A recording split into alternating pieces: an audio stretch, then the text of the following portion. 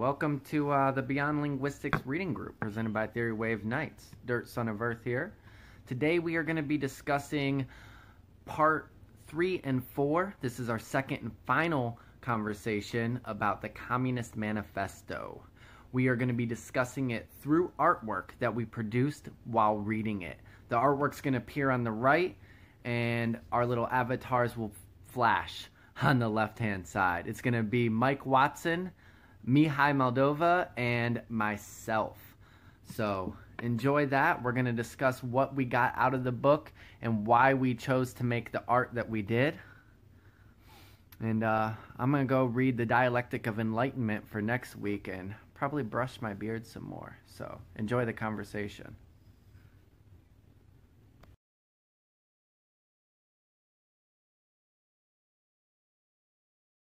Hello, thank you. Um, yeah, this is the title of this is The Details Lost in a Single Image. Um, and it is maybe more actually based on part two than part three and four, even though that's what we read. Um, I found it slightly difficult to make art directly around three and four. Uh, three and four, we have the socialist communist literature, and um, the uh, second part, conservative or bourgeois socialism, where Marx kind of goes through and lists the various forms of socialism that he is opposed to um, in the naming of communism. And while it is all interesting and some of these have really interesting characteristics you can maybe even play a fun game uh, to denounce yourself like go through and be like all right which kind of socialist am i that's not true? Uh, am i a reactionary socialist? Am i petty bourgeois? Am i conservative? I think what it kind of got back to me too was in part to some of the uh, ambiguity uh, that was in there. Um, Namely, I'm thinking of something specific, but before I get into that, I would like to hear y'all's thoughts on the image. I mean, it's uh, it's an abstract image. It has it's also a collage. No, you have stuck you stuck stuff on it. It is collage, and yes, it's yeah. much more abstract than what I presented for part one, which was basically a, a weird landscape. I mean, it's to me, it's quite typical of your work in that it somehow resembles uh, internet generated imagery. So I'm getting a kind of a glitch feel here, even though it's actually a painting. So I find that interesting that we're looking at a painting yes. online that actually in itself mimics somehow online culture, which we've actually spoken about before on, on other shows in relation to your work. So I won't kind of take up too much time, but just to also touch on it, it being a collage or having collaged elements, it's worth bearing in mind that early collage, I'm thinking back to uh, people like Picasso, when he started kind of doing collage around his Cubist period, it was very much reflecting the kind of uh, chopped up um, uh, kind of feel of, of industrial life, of, of things not running temp, temp, temporarily, temp, in a time sense, things not flowing, you know, like A, B, C or one, two, three, things being kind of disjointed. So this kind of use of collage reflects that, but also it kind of brings art off its pedestal um, to some extent, uh, in that you're not looking at you know an artwork which is supposed to represent a transcendental reality, which is supposed to kind of take you away from uh, material reality. It's actually taking things like bits of magazines, maybe train tickets, parts of everyday life, and sticking them on the surface of the painting. Um, which I think in a way is, is a leftist thing to do. And then, of course, Picasso ended up being very active uh, as a communist in later life. Um, so, uh, yeah, just some immediate reflections. And anything you have in mind, uh, Mihai? Uh, hi, everyone. Uh, I just uh, like the relationship of uh, one of the first things that kind of came to my mind is the relation between colors and the shapes, but but the the colors that resulted from uh, the colors and shapes that resulted from the brushwork. And um, this is just um, you, you, can see this better uh, when you zoom in into the picture. Like you choose particular parts and you can see better how these things relate to each other. And uh, what it makes me think about is about aesthetics and uh, how ambiguous they are and uh, how I believe we don't really know how they work, how aesthetic works, and uh, how this why some relationship between some uh, objects and uh, some colors, some shapes, why they work. Whereas if you just did slightly differently, like some some parts, they would feel wrong, and uh, that's kind of the quality of of art that uh, connects to something. Um, uh, transcendental, uh, if I say so, which, in my opinion, I don't really know exactly why aesthetics uh, work this way, uh, and uh, probably will end up um, learning more and uh, studying more with um, with Adorno's book about these things. Um, yeah, I mean, we're and uh, the Adorno's dialectic of enlightenment in two weeks' time um, for a few weeks I mean, these questions of art being transcendental versus, versus materialist are, are kind of quite crucial to left aesthetics. Um, I mean, I think if we're, if we're looking at things from a Marxist perspective, we have to kind of return to materiality and the fact of things being material and being manipulated by, dare we, shall, shall we dare say, a, a worker, an artist, somebody who is involved in labour. So I think um, that's kind of a good a good angle, maybe. But sorry, go ahead. Uh, yeah, and uh, uh just to say something about the fact that it's got these uh, elements of everyday life, uh, as you said, Mike, with the is is a, train ticket, uh, Adam? Where where what's the Sunset Point station? Ah, yes. Um, so I could see why you would think that is a train ticket. It, it kind of looks like it. Uh, in the bottom left hand corner, uh, there is a, yeah, like this orange or peaches thing that says Sunset Point Station priority. There's a barcode, it's pretty smeared up. This is actually a parking pass um, that by a beach near me, I had to print out to park. Um, at the beach. Uh, and so I put that next to this quote um, It is only the social character that is changed. Um, because, yeah, that's like, that's something I think that is interesting in the manifesto when he's talking about this, some of this like nuance and detail, right? Is that these things change um, and everything is embedded with this class and social character uh, and when the proletariat takes um, its significant role and starts to abolish itself through abolishing class antagonisms, you might still see some of these same things, but the shift is in the very social character that like constitutes them. So to me, that's uh that's an important thing, and it's something that's kind of hard to picture right away. You know, it's something that causes this fuzziness in the brain um, to really picture what that would be. So, you know, and that might be the shifting of when beaches became tourist destinations. Um, there's a mm-hmm. class character that's changed there. Um, so, what would the class character uh, and social character changing of that beach from this tourist destination to something beyond? Like, what would these public spaces and beaches look like in socialism or communism? So that was my idea of pairing those two things uh, directly together. And it is a part of my life. So to incorporate that, yeah, materiality of lived life into it. The social character of um, of beaches, uh, of, of of different parts of our life uh, could change as, as a result of uh, a social democratic uh, movement uh, or uh, all, all the different types of um, socialism that Marx kind of criticizes, but it doesn't change materially.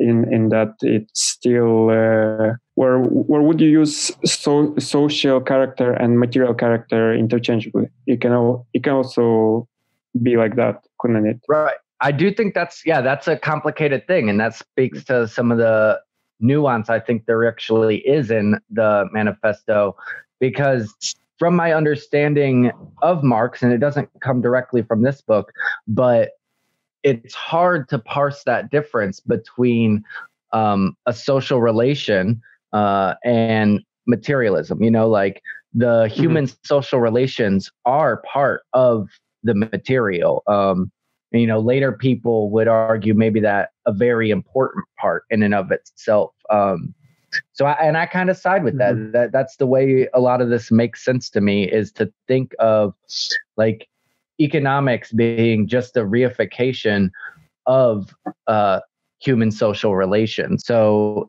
the social character of something is pretty important for when discussing the the material reality of it. Like it, it's almost like what you need to fully understand the material. It works very much on a surface level. I think having the, the kind of ink i guess it's simple pen no? Uh, yeah it is pen. writing on top of the the painting it, it kind of it destroys the illusion of depth. Okay, so you're looking now at just a piece of board or, or canvas. I'm not sure what, what your medium is, what your base is. Um, but there's no longer that potential for imagining your, your way into a different reality. You're, you're, thrown into your own reality, uh, looking at a, a, material thing that's been made by a person. And I think this is very much in line with a kind of progression that happened through modernism was to kind of like rid the artwork of its illusory value. So it became uh, just material. Um, and in painting, this functions in a similar way to to installation pieces, to ready-made, to you know the, the idea that you, you, can just take an object and put it in a museum. I think abstract painting had a similar tendency that it is a painting there, but it's still effectively a thing that's made in mm-hmm. a world of kind of negative social relations. And I think what's interesting, I think in, in part three of the of the manifesto is when Marx is talking about these kind of uh, faulty communists, these these kind of unreal or inadequate communists. He goes through, I think, four different types, and th- these people who, you know, they, they want the communism that they're not prepared to change the entire relations of production and, and ownership. And I think we see this in art a lot. Um, that you know one can make something that looks communist, one can make something that, that is no longer transcendental and somehow re- related to the church or to kings or rich people who commission artworks. But as long as it enters into a system of exchange that is capitalist, it's fundamentally capitalist. It's, it's not changing anything. So then you get to the, the, the thing of, okay, well, Adams painted a picture that fundamentally resists transcendental kind of romantic bourgeois values. But if it entered into the gallery circuit, it would again be capitalist. And then it, that depends on how Adam decides to exchange this work, or maybe he doesn't exchange it. Maybe he just puts it on YouTube. Like we're going to put this talk on YouTube now. It's on Twitch, but then even then it enters into the capitalist relations. So I mean, this gets kind of complicated, and we can't expect Adam to solve this problem. But it's just interesting. I think that that's one thing that st- stood out for me. Uh, Marx's accusation against the um, conservative bourgeois communists is one that very much applies to political art and, and, and contemporary art in general and the art world but yeah, I mean, do we have? We're going to talk further on this work. Do you have any kind of comments, things you wanted to say in particular, Adam? Um, I well, yeah, a, a couple short things. Um, first, the, my favorite thing from the the conservative or bourgeois socialism was they desire the existing state of society minus its revolutionary and disintegrating elements. They wish for a bourgeois without a proletariat. Uh, so, wishing for a bourgeois without a proletariat does seem quite in line with what you were saying about um, the modern art world or contemporary art world. Um, that to me is exactly what's happening. That the yeah, um, I mean, it is kind of third way politics. There's even a bit Thatcherite. Um, this kind of trickle down effect that you can make the wealth happen and it somehow will kind of filter down to the poor people and they they will take on your values and we all become eventually middle class. And that's very much kind of how politics has operated for the last few decades and where we seem to be heading again um, in the sense that we had this kind of moment of hope that Corbyn could become prime minister in the UK, that Sanders could become president. Now they're not going to be, and we're kind of thrown back on these other options, uh, Biden and Starmer um, neither of which seem particularly radical. Um, so we kind of inhabit this space again, unfortunately. and it's, it's something that's very hard to deal with because, of course, do you then, as I've been discussing on on Twitter with some people uh, yesterday, uh, do you then kind of withdraw your support from from Biden and Starmer, and in the case of Biden, therefore let Trump become president uh, as a kind of protest against the whole kind of rotten charade, um, the whole rotten system?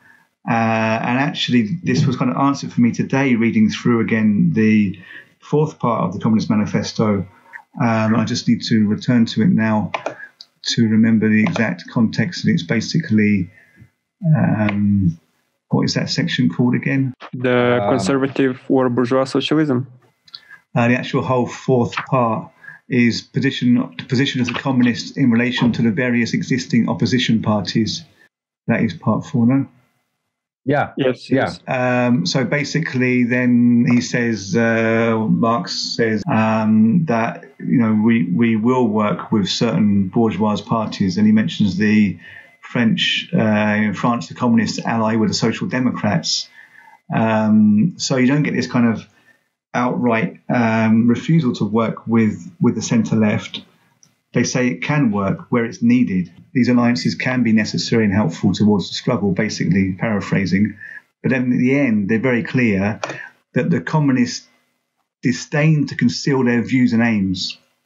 They openly declare that, that their ends can be attained only by the forcible overthrow of all existing social conditions. So there's there's this kind of in, in the space of a few sentences is from yeah okay work with Biden if you have to uh, work with Starmer if you have to, but we're not going to conceal our real aims and we're ultimately there to overthrow basically them. So if I if I can add, this seems to be like the theme that is coming uh, over and over in the third part and fourth part and uh, really in the first two as well the the necessary uh, uh, overthrow of exist- existing social conditions so it's not just an improvement of conditions not just uh, kind of superficial uh, yeah but the, the, the yeah. sorry the, the, the modifier here is that yes this is what we want um, but if one has to work with the, the centre left, then then we should do. Then of course one wonders what the centre left are thinking because it's not like the centre left weren't aware that this book existed, and certainly not certainly now they're aware. Um, so from the centre left point of view, communists are saying, yeah, we'll we'll work with you, but we'll also try and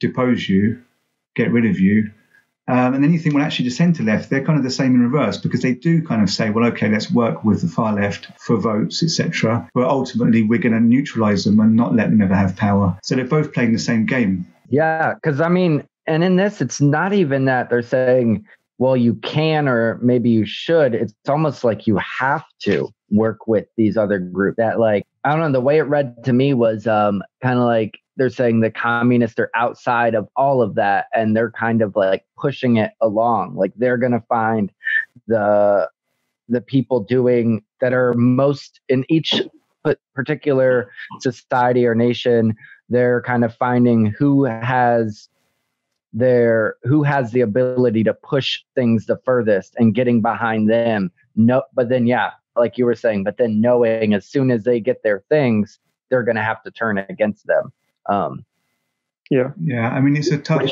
uh, it's a tough call with um, what's happening today. I mean, I just can't see. In the case of America, I can't see how one could deny that it's really fundamental to get rid of Trump, even if, like, okay, we go back to Biden. But you know, if you don't do that, if you don't return to that, you basically embolden Trump and you know he becomes even more dangerous than he is. At least if you change president, you've kind of upset the flow of things temporarily. I don't know what you think, Adam, because you're actually voting in America. I'm not.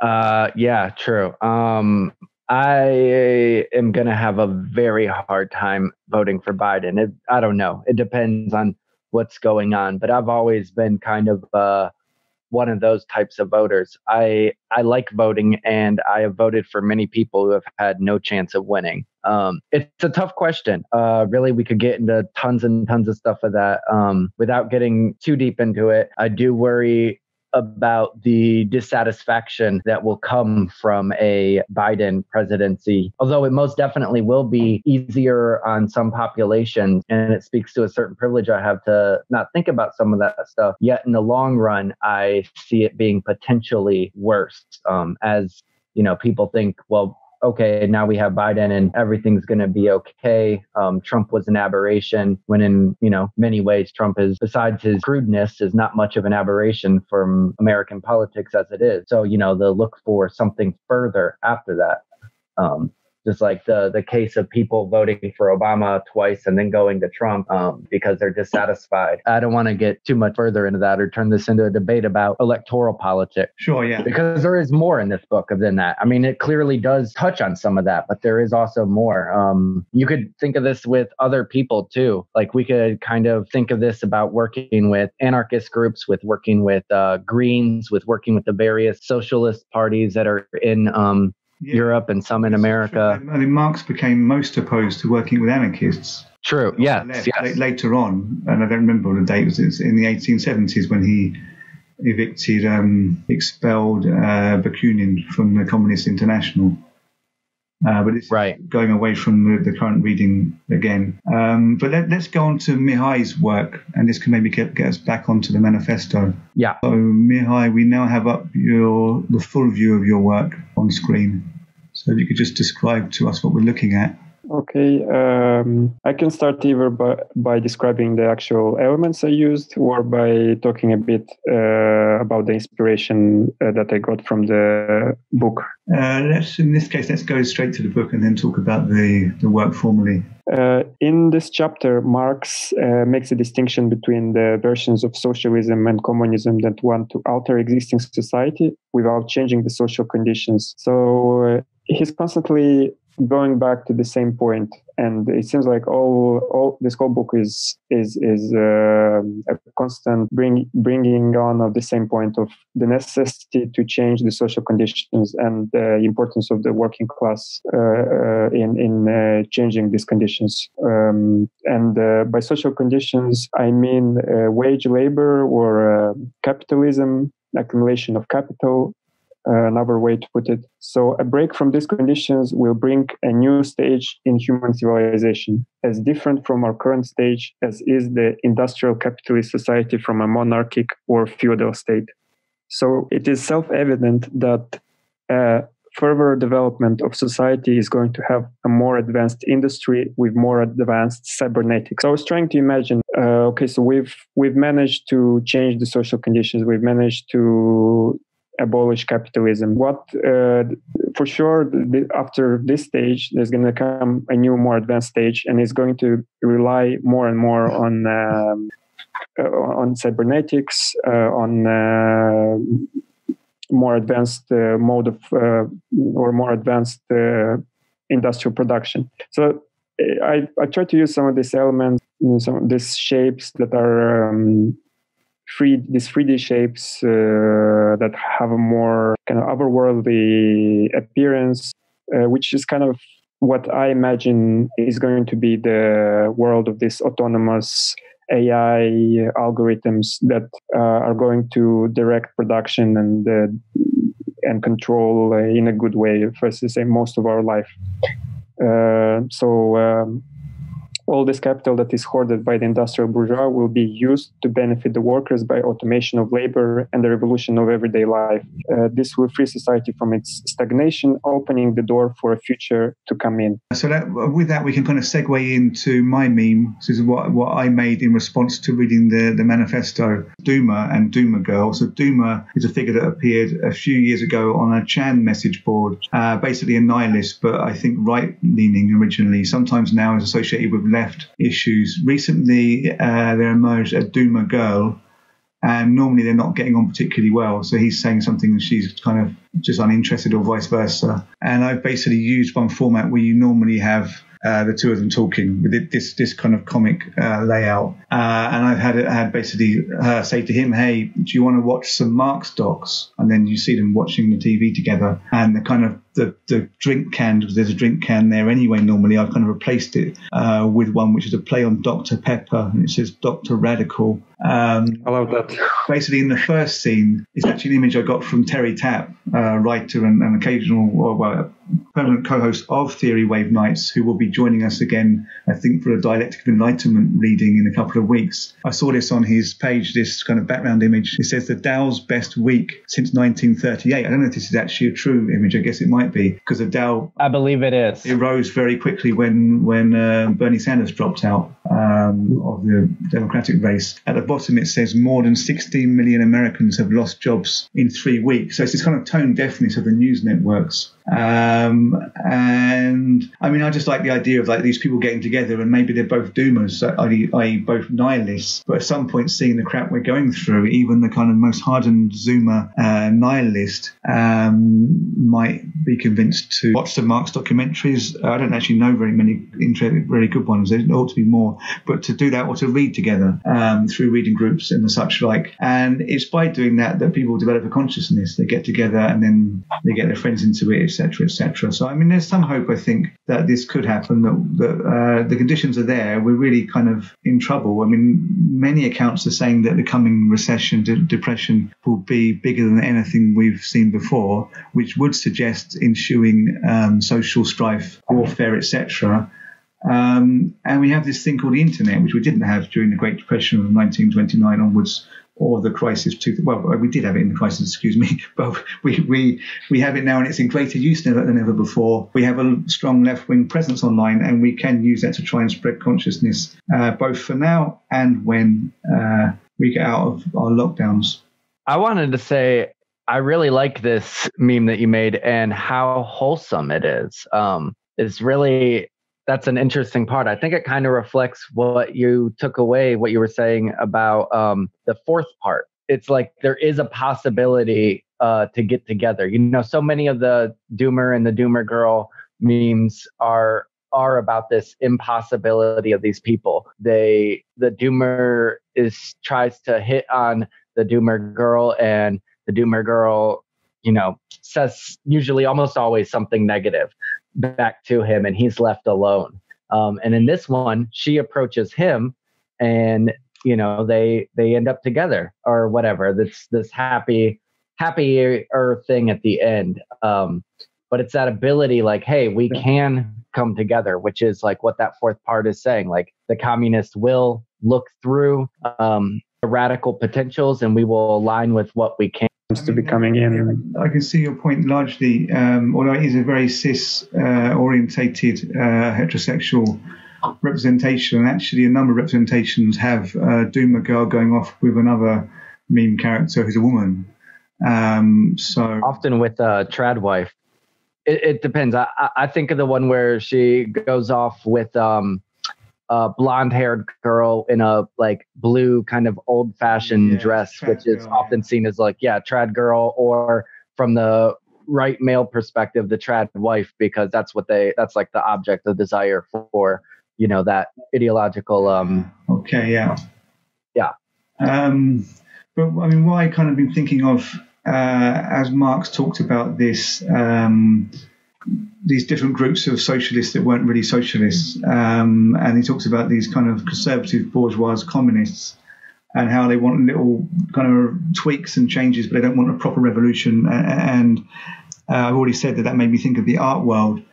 Uh, it made me think also of Walter Benjamin's author as producer, an essay he wrote in 1934, um, where he talks about he talks about like a certain type of, of writer who a certain type of journalist who uh, uses their position uh, perhaps on a newspaper uh, for their own gain. That there's a kind of projection of left wing values, and maybe they even are left wing, but as long as they're kind of cozy in their position, they're not really expressing uh, kind of left wing economic relations.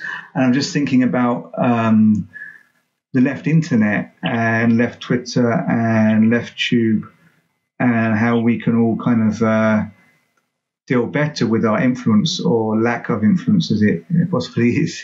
Uh, um, you know, the, the tendency, of course, is naturally to try and pursue your own success and fame. I don't think you even need to be someone particularly power hungry to do that. You, you just, as a human being, much as an animal, you're you're looking for financial security, food stability, uh, a partner, etc. Um, but this is very hard doing this to avoid uh, the kind of conflicts that lead you down roads um, that are not really communist in spirit. And yeah, I just wanted to reflect on that. Uh, I don't think we can really solve that, but just um, you know, I, I, th- I, think there needs to be there need to be certainly in the publishing industry and the arts new new ways of doing things, new new relations where where everyone basically is equal from the offset, and then you have to be very careful if you're going to make a new publishing house, a new website, a new whatever. I mean, how do you apportion? Um, how do you how do you apportion um, profit or ownership of this thing from the beginning to make sure everyone's getting getting kind of the, the same out of it? I don't know if anyone has any kind of similar reflections. Can I read a passage that relates to what you're saying from the book? Please.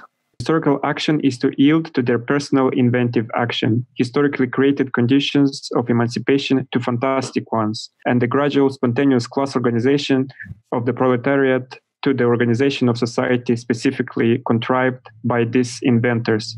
Future history resolves itself in their eyes into propaganda and the practical carrying out of their social plans. So kind of relates to what you're saying. Yeah, that's yeah, that's absolutely what what I was thinking of. I think that relates to what Mike was saying about uh about how this can be seen through the art world. Yeah, I, I just want to go back to that because I've just found now the direct quote I was looking for from from Benjamin from the author as producer, and he says, "Before I ask." How does literary work stand in relation to the relationships of production in a period? I would like to ask, how does it stand in them? So that could be a, confusing quote, but basically, uh, before I ask how a work, should we say an artwork, stands in relation to the relationships of production in a given period, I'd like, I'd like to understand how, how it situates itself actually, you know, politically, uh, socially, uh, economically, and I and I think um, you know, what, what he's really saying is because he's talking about journalists, he's trying to throw it on the journalists that it's not so much, you know, what's the work about? How does it stand in relation to society? What's it saying about society? It's more like, you know, um, what's expre- what's it expressing about society in terms of the the, the relation production inherent to the, to writing itself? Like the writer how were they when they wrote it? If they were writing about marginalized communities how do they approach those marginalized communities? How do they deal with their boss? Did they like take certain stances to please their boss rather than to further you know a, a, a communist society or socialist society? I mean i think the pressures on people are enormous. I don't think they, that that's one thing that i think can, I can really relate to. Um, um, even if Benjamin's writing in 1934. I mean, we could say with the Communist Manifesto, obviously written a long, a, a long time before that, 1848, I think, 1848. Um, that um, you know there's certain parts of the manifesto I can't entirely relate to. I understand what's being said, but I don't see how they relate to this society or map onto our current situation economically. Um, although a lot of it does. But with this, I can just see like, okay, you're a writer, um, you want to do the right thing, but you want to get ahead. You you you, you have certain pressures from your your boss on a magazine. Um, you want to write about things, but you don't want to get you, you can't get that involved. Um, much art about immigrants, and there's people writing about art about immigrants. Are they going and talking to the immigrants? Probably not likely. It's very rare that people are talking to immigrants fresh off ships about what they think uh, rather than about the artist who made a piece about these immigrants. But you know, people want to skip all that bit because they have a deadline and they want to make 150 euros, 150 dollars for a review or whatever. Often much less. Um, I mean, also online, you can get yourself in these positions. You want to get out a video, you want to get out a meme. Does it seem exactly right what you're doing? Are you going to upset somebody? You know, do you make a, a podcast about someone else's awful podcast with a bad take, which is going to probably upset them? You know, but can you not? Can you can you avoid doing that because that's how you get ahead? And that, you know, the whole thing's incredibly bitchy. Um, how things work on the online left in that respect, that we all get ahead by kind of cussing each other out. Um, but how can we expect to kind of foster a left if we're all treading on each other? And but then is that even not left? Because if you're looking at the task of making revolution happen, there's going to have to be a certain amount of treading on people on the way, perhaps, to give given realities. Um, and of course, Marx, when he kicked, he kicked Bakunin out of the Communist International, that was treading on somebody to, to kind of further one's own position, I would think. I, I don't think it was purely theoretical. Um, so there's a few questions on how, how we should approach things. Yeah, that actually makes me think of uh, something that just the these parts that we read this week, um, three and four.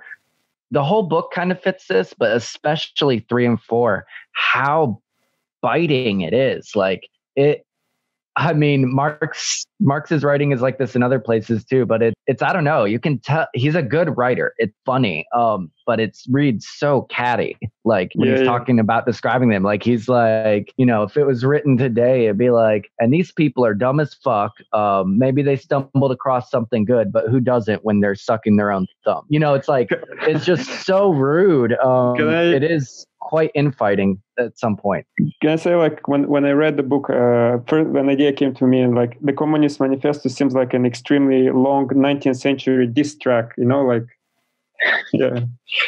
Yeah, because he's like, and we're the best. We're going to do this. We always hold these things in favor. We are the ones giving the truth. Like, it, it is kind of like a diss track. I, I see it, and a brag track but at the same time. It is an explosive, polemic uh, kind of text that doesn't appear to to point to any kind of solutions in a way. I mean, and it didn't ultimately provide solutions. But then, of course, it's a complex world, and nobody has really solved inequality.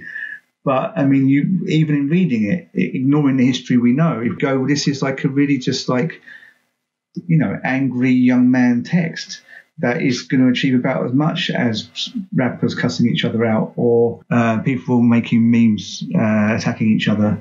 Um, I mean, this is I, I, guess Marx matured, and then you get the, the Das Kapital, Capital, which is a obviously huge, much longer book and addressing a completely different kind of angle, or taking a completely different angle, where he's gone, okay, we we're not going to get anywhere by cussing each other, people out, although he does cuss people out in that book as well, but we need a methodical, slow approach. And then you read that, and you're like, oh my god, oh my god, is it how many more pages is he, is he going to talk about the cost of linen? Um, and then, but then there are all these gems. Going to get through those pages. You get kind of quite interesting imagery and, and metaphors and things.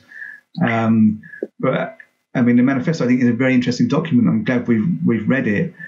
Um, partly because it is so angry and it kind of gives us something to to get our teeth into. Um, yeah, and, and, yeah, some of that, some of that anger and that brag and that diss is really works for it. Um, absolutely, and you know, it helps drive home this theme that he mentioned several times. Basically, like, no, don't hide your goals and aims. Like the communists should be open about what what the goal is. Um, which is funny because now you know everyone in t- today's like mainstream political discourse, communists are supposedly like secret plotters. You know, like all the Democrats are secret secret communists trying to have these conspiracies in the eyes of like the the right wing mind which you know he's straight up saying please don't do that. No we will will always scream loud who we are and then ends with working men of all countries unite. Like that it works it really works uh that tone does for that last that last part especially is different from how uh, a lot of theory today is written. It's uh, very careful and uh, very boring sometimes. Um, like the opposite of a dog whistle in a way. You know, if, a dog, sorry, I had to interrupt me, Mihai, sorry to interrupt. Um, no, no. The, the, the, dog whistle is like the silent whistle you do, and only your other kind of far out uh, extremists can understand. This is just like walking straight in there and saying, fuck it, let's do it um, really loudly. Which is kind of similar. Fighting. But I just want to come back as well. And I mean, uh, the question that uh, Mike you said that uh, if what is how do we tread uh, in the future? I mean, do we uh, become uh, more con- contrarian, or I mean, do do we change like the the way in which we, we organize and and and try and, and bring uh, the way we organize ourselves and we all these institutions are organized so we kind of try and i think bring the change that we want uh, before we do the kind of revolution which Marx was talking about. If you if you understand what I mean, uh, he because I think he talks over and over and says that we first need to concentrate kind of on the revolution and and, and changing the the material conditions, the the the bourgeois society.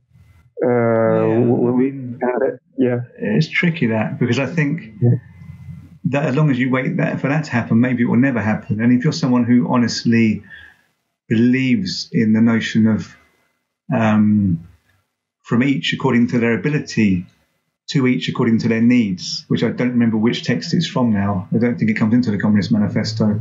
I think it might be from the Gotha program. Um, but it's a very simple kind of um, framework. You know, um, it probably exists in, it does certainly exist in many religions. But basically, we all, we all help each other out. Do do us to others as you want done done to yourself. This kind of thing. Uh, if you believe in that, then why wouldn't you be doing it in your daily daily working relations? And how can mm-hmm. you kind of make an art entity, uh, organization, foundation, museum, gallery, whatever, if you're not uh, basically approaching it with that very spirit. I mean, how, how, can you claim to be promoting that spirit if you're not employing that spirit? So I don't, I don't think it's the case that we, we do whatever we can to force revolution to then implement those conditions. I don't really think you're worthy of the moniker leftist if you're not first thinking about having everything in order in your in your daily working uh, relations.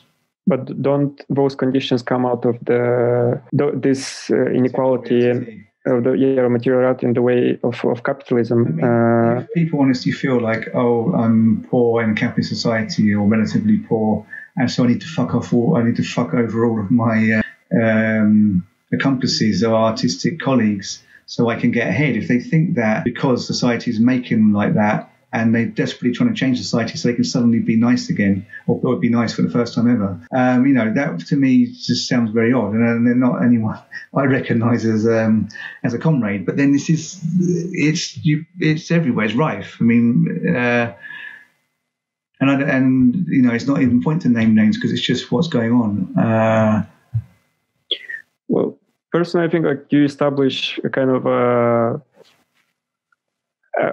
more or less flat hierarchy uh, within uh, a bigger organization with a lot of people. So you, you you're gonna have and what's the, uh, Marx also talks about in the Communist Manifesto that this idea of having a flat hierarchy is a utopian uh, idea. I mean that you're not you're not even like and I've heard this before even after the revolution or after the uh, change of the uh, economy like you you're still gonna have hierarchies and uh, I don't know. I know what you mean, but uh, also if you concentrate too much on this, then it becomes a bit like uh, woke politics, or uh, you're concerned too much about saying the right thing or or, or uh, seeming nice. Well, yeah, but nice is one thing, but giving people their dues is something else. Mean, and by that I mean giving people the credit they deserve is is different. I mean, that's not to me really woke politics. I mean, it could intersect, but um, mm-hmm. I mean, I just I just don't see how you can present something as something else. I don't think how, how you can go. I mean, in, in no other field of life are you going to go. Well, actually, people do do it, but you can say I, I I'm all up for this, but you're actually doing the opposite. I mean, that is hypocrisy in any in any other field. You're not you're not doing the opposite. You, I mean, like you you you're part of a bigger organization. I don't know that is has this kind of. Uh, hierarchies in it. Some people do want power, some people don't want power. But and, and of course, yeah, hierarchies exist. Somebody is more stronger than someone else. Someone is more intelligent. Someone, you know, there's always going to be upper upper hands. You can't have a non-hierarchical football game, for example. I mean, there's going to be winners and losers, but within that, you can still mitigate against uh, unfairness. Um, I agree with that. Still promote against prima donnas you know so i mean okay you can say they exist but the fact that they exist doesn't mean they should they should um, dominate the leftist movement or leftist art institutions or art institutions that display leftist works. Um, I don't agree with prima donnas, but um, maybe I mean Marx would have been a, a good uh, leader at the point, and I mean, was, but um, had we gone down the anarchist route, and and this was a subtle anarchism that appreciated you needed structures, but they, they were just kind of decentered. I mean, the idea that anarchism is absolutely legalist anyway is a, is a um, misunderstanding of anarchism. Not that I'm saying your misunderstanding, but I'm saying the colloquial understanding is not really accurate. I mean, there were even anarchists in some in some European parliaments in late 1800s and early 1900s um, is basically devolution, decentralization.